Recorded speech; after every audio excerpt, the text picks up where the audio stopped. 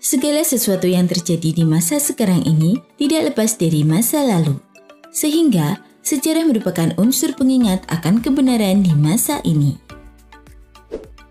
Meskipun begitu, sejarah juga tak luput dari kontaminasi berbagai kepentingan tertentu, sehingga banyak sejarah yang tak sesuai dengan kebenarannya. Bahkan, tak jarang pula sejarah yang telah umum kita ketahui ternyata hanyalah kebohongan yang telah mempengaruhi ribuan, bahkan jutaan umat manusia di muka bumi ini. Berikut 5 kebohongan dalam buku sejarah dunia yang telah dirangkum oleh Jawara 5. Amerika Serikat merdeka. Dalam buku sejarah sekolah di Amerika, dijelaskan bahwa Amerika menandatangani deklarasi kemerdekaan pada 4 Juli 1776. Namun kenyataannya, perang kembali berkobar pada tujuh tahun berikutnya.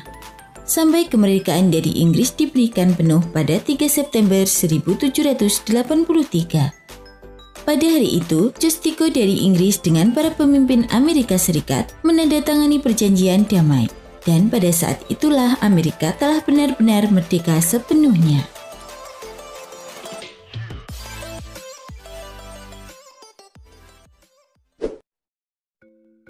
Napoleon dan Hidung Sping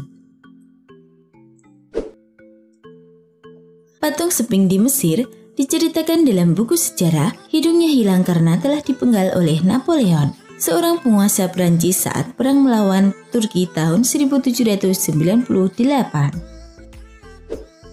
Faktanya, hidung itu sudah hilang berabad-abad sebelum Napoleon lahir. Orang di balik penghancuran hidung itu adalah Muhammad Al-Sa'im Ad-Dar, pemimpin agama yang kesal melihat orang-orang menyembah berhala.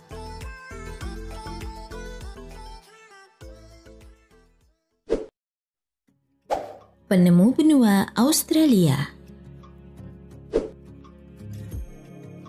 Kapten Cook dalam buku sejarah dunia, bahkan dalam buku banyak pelajaran sejarah, dipercayai sebagai penemu benua Australia.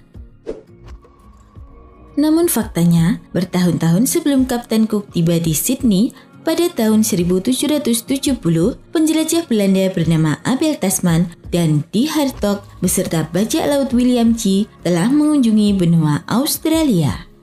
Jadi, bisa disimpulkan bahwa Kapten Cook bukan orang pertama yang menemukan benua ini.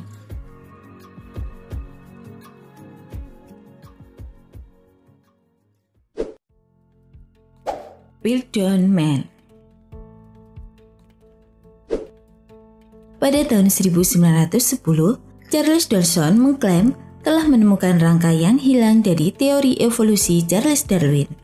Namun pada kenyataannya, pernyataan tersebut hanyalah kebohongan belaka yang masih banyak dipercayai, apalagi golongan yang menganut teori evolusi.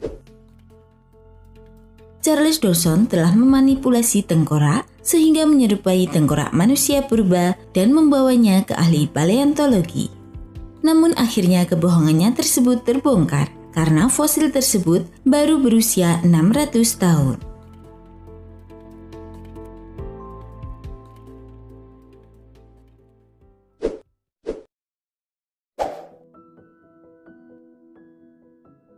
Helm Viking Kaum Viking dalam buku sejarah selalu digambarkan dengan memakai helm bertanduk. Namun sesungguhnya itu hanyalah sebuah imajinasi karakter kaum Viking secara fiktif. Faktanya, para arkeologi belum mampu menggambarkan hiasan kepala Viking itu seperti apa. Helm bertanduk telah ditemukan dalam makam para Viking. Namun, diduga helm tersebut hanya digunakan saat ritual saja, bukan untuk perang. Selain itu, helm bertanduk telah digunakan sejak zaman